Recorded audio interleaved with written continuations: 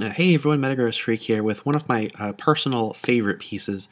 Um, I titled it "Quit Calling Me Sir," which is a uh, it's based off of, of course, the uh, Shantae, and I think this is uh, uh, I think this is Pirate's Curse pose of uh, Shantae crossing her arms in annoyance, and uh, basically this was my self portrait. I um, used a Pokemon creator, a Pokemon trainer creator piece to create um, my character, how I portray my character in um, a variety of media, but primarily how I uh, design my character in both the Pokemon games and how I have my character um, in my fan fiction series or at least for the, the first arc where my character was going back and forth between uh, Kalos and Hoenn. Um, I actually have a different design in later chapters now that my character has um, basically go, gone on vacation to Unova. But I thought this was a really good pose, and so I used this um, for my, my, my self portrait. I'm I, I, am accused of being kind of a, a grumpy Gus, so I, uh, I, I, wanted to use this. Um, so that's why I may not look like any uh, recognizable character. Um, also, I realize, I, I, I fully recognize that, uh, that, while this character does not uh, resemble how I look on a day-to-day -day basis, this is essentially how I portray myself in, um, I guess, in a, in, in a uh, in a, uh, a fantasy setting. I'm looking at this weird target now. This weird target circle has appeared on the screen. I don't know why that's there. Um, that's probably from a layer that I wasn't able to see that I was trying to use to like draw circles or something. I'm curious now because it's not going away. This weird circle thing. I don't know if that'll show up in the uh, thing, but that's weird because um, it doesn't show up on the picture yeah, I essentially used uh, the Shantae pose to draw how I portray myself. Um, kind of as a, I guess, I guess you could call this as a hybrid of um, how I look, uh, basically how I dress in real life versus how I wish I looked. And of course, give myself a Megastone, um, a Megastone pendant rather than the Megastone bracelets, because um, I think the Megastone bracelet looks kind of stupid. Um,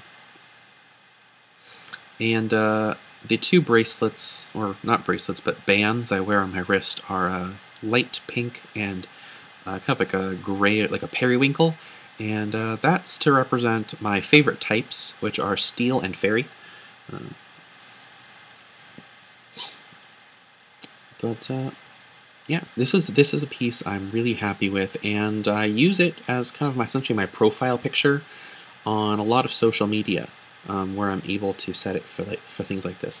Um, I think this was my profile picture on Facebook for about I'm gonna I'm gonna say about three months.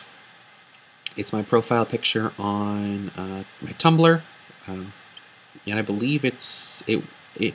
I wanted to set it as my profile picture on Facebook, um, but it for some reason wouldn't go. Oh, this is also my profile picture on DeviantArt, where I have all of this uploaded.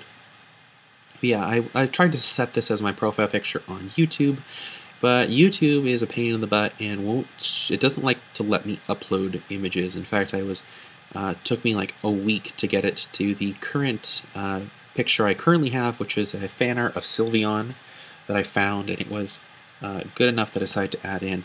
Um, oh, there we go.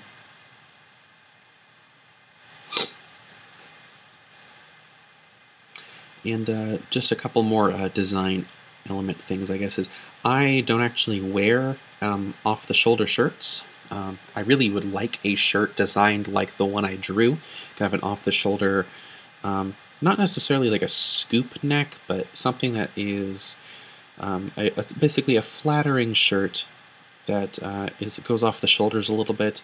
Um, wearing it with, um, as you can tell from the pink straps, a uh, pink bra, but uh, that was actually inspired by a uh, kind of like a magenta sports bra, which I actually own. Um, and so that's that's my it's I guess of the it's kind of like the favorite one I have, which is why I use that. Um, then here I'm adding in the shading.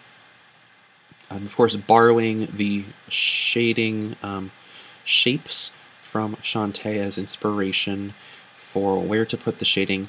Um, shading is kind of, it's not really a strong suit of mine, so I take all the help I can get when it comes to shading. essentially what I do is I basically just add kind of like a, it's not black, but a dark gray um, for shading. I essentially have a layer of dark gray and then I make it transparent to the point where I like how much shading there is, as you can, we'll probably see in a minute.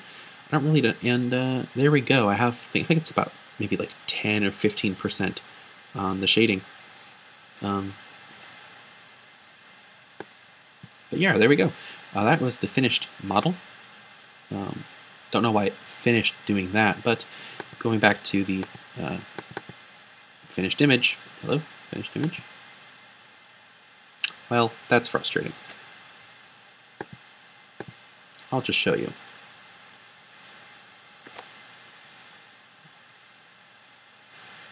Uh, going back to the finished image, there you have it. You can see my uh, lovely, lovely DeviantArt. Uh, there's basically the finished, finished image, but I'll show it to you finally in my gallery. Um, through all my fan art. There we have it.